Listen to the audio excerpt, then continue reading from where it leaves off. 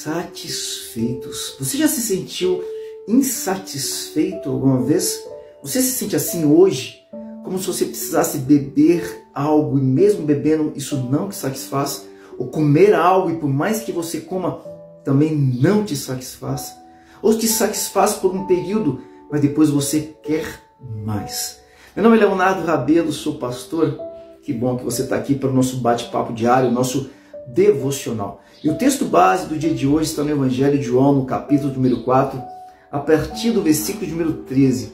Nós vamos encontrar aí Jesus conversando com uma mulher, uma mulher samaritana que estava diante de um poço retirando água daquele lugar. E ele diz assim: Jesus afirmou, está escrito no texto: Quem beber dessa água terá sede outra vez. Aquele, porém, que beber da água que eu lhe der, nunca mais terá sede. Ao contrário, a água que eu lhe der tornar-se-á nele uma fonte de água jorrando para a vida eterna. Aquele que beber das águas de Cristo se sentirá satisfeito. Eu diria pleno. O que Cristo tem para nós é uma plenitude.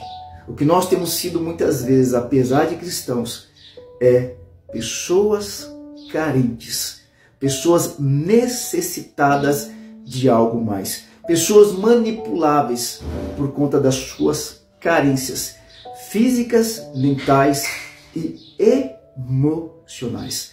Nós precisamos rapidamente voltarmos para Cristo e permitirmos que Ele gere nos nossos corações essa fonte de águas vivas. Eu quero me perguntar hoje, o que mais eu posso fazer para que Jesus construa e edifique esta fonte no meu interior? Uma coisa eu sei, eu poderia dizer que o meu coração pertence completamente a Jesus, mas isso não é uma verdade.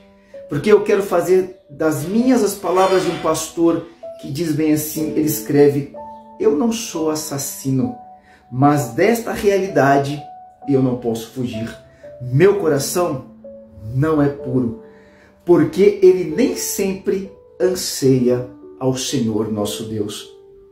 A verdade é que eu tenho odiado em meu coração, eu tenho roubado com os meus pensamentos, eu tenho cobiçado em secreto e eu tenho feito todas essas coisas porque o meu coração nem sempre pertence ao Senhor.